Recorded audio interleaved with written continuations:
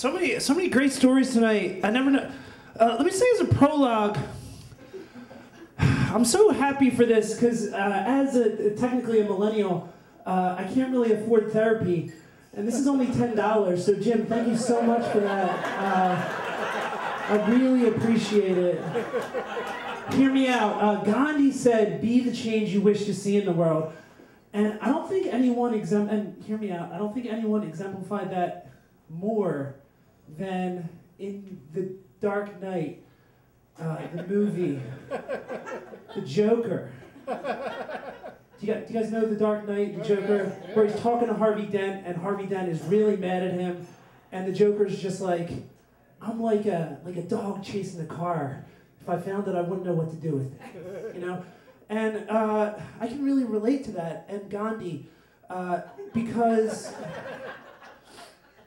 I feel I don't think all barely pubescent boys are like adorable sociopaths, but I think that I kind of was when I was a, a, middle school age kid. Like there were two things I loved more than I love McDonald's and I love Coca Cola. Uh, I grew up. I'm not bragging. I grew up in Northeast Philadelphia, and uh, there uh, we would we, uh, McDonald's was like like I didn't I was Catholic. I didn't have like any coming of age ceremony growing up. So for me, like when I told my dad, like, Dad, I no longer want the two cheeseburger meal. Today I want the Big Mac meal. Like, I felt like that was the day that, like, I became a man, you know? Thank you. Thank you. And, uh, we would play basketball every day, and, like, we, we only really had money when we, it was kind of, when we uh, were altar servers at funerals. Uh, and so we would, we would go there, we'd still go to McDonald's every day just to, like, smell the fumes uh, after we're done playing. But this, uh, you know how, like, when you're a kid, and you see a flaw in the matrix, like the adult matrix, like you just have to pull at it as hard as you can. Like when I was in sixth grade, I like faked appendicitis and almost had an operation. It was like I'm adorable sociopath, right? And so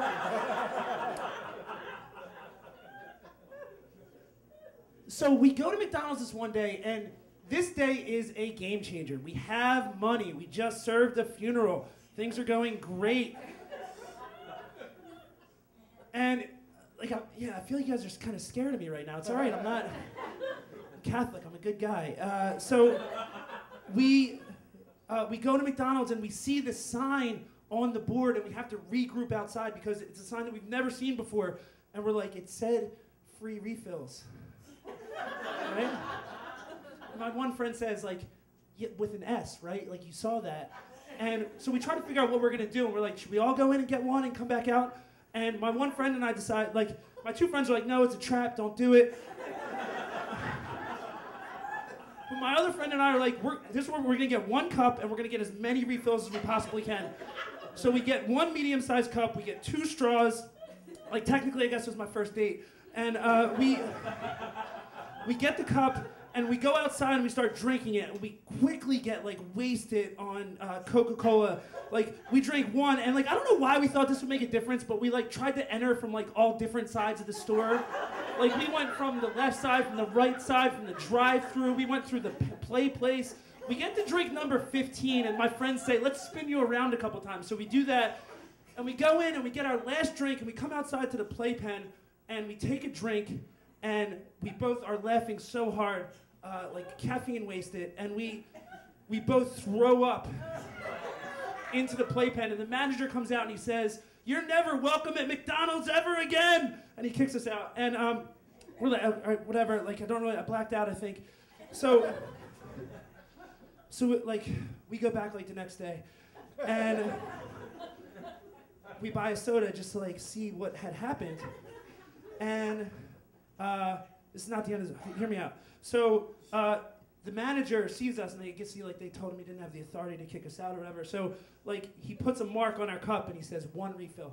And we're like, all right, we changed the world a little bit today. We changed the world. And so I grew up and like took that experience to heart and got out of college. My first job was teaching uh, middle school at a Catholic elementary school in North Philadelphia.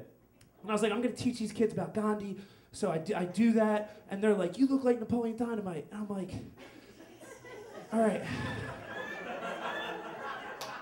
And they then proceed, uh, there was one day where I gave a couple kids detention, so they all said, Mr. Clark, today we're not eating hot lunch. I was like, that's not the point of a hunger strike, but whatever, I'm glad that you're enacting change. So this goes on for about 10 years of me just like trying to resist chaos and them just being absolutely insane. And it's it's frustrating. It's hard. I said this is to be a therapy session. Sorry if this is weird. So last year i still love soda. I drink soda every day. Last year mayor Kenney, that draconian fascist puts this soda tax where now it's like four dollars per soda and you only get like five minutes to tell a story it's ridiculous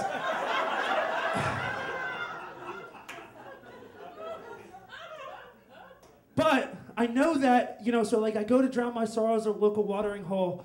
So I drive to Burger King. and where there's usually a fountain that you can pour refills to your heart's content. And there is a man standing, like a large man standing in full camouflage in front of the soda machine. I'm like, what are you here for? He's like, I'm here to make sure things don't get out of control. there was a bouncer in front of the soda fountain machine in North Philadelphia. And for a second I was upset, but I was like, maybe the manager from that Northeast Philadelphia, like 10 years ago, was thinking, like, okay, like, you know, we don't want any kids coming in here and causing any chaos again. Like, we're gonna really lock shit down. And I felt like, you know, maybe I need to start trying to stop preventing chaos and start trying to cause a little more. Thank you.